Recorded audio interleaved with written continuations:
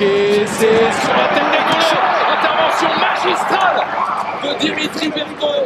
Énorme occasion et alors un, réflexe impressionnant de la part du gardien Montpellier. Il est niqué là, Ouattara qui tente et Berto est encore là.